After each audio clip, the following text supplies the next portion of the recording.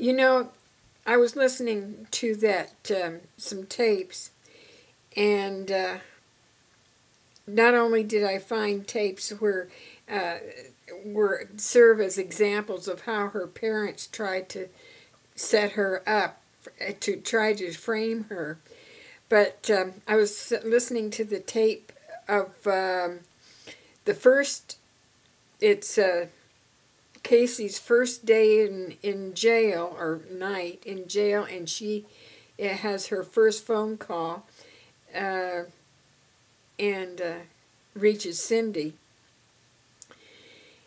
And it occurs to me that she's being very, um, she's angry, she's sarcastic to her mother, saying things like, um, well, that was a nice cameo you gave. And, um, uh, you know, some of the other things that she said that uh, it sounded like she was being sarcastic, that she had gotten, you know, this was a nice stunt that you two pulled on me. I'm stuck here. I'm not even supposed to be here, you know. And uh, listen to it and see if you don't agree. She really sounds like a person who was double crossed.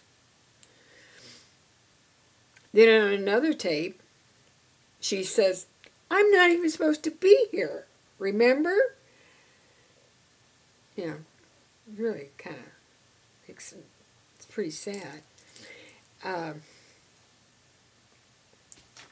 but here we have this family. I there's there there's criminality here somewhere, and uh, in it beyond the death of little Caylee. Um,